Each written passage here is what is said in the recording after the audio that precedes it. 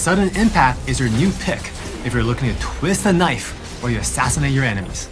With this rune, you'll gain a bit of adaptive penetration when you exit stealth or use a dash, blink, or teleport to deal damage to an enemy champion.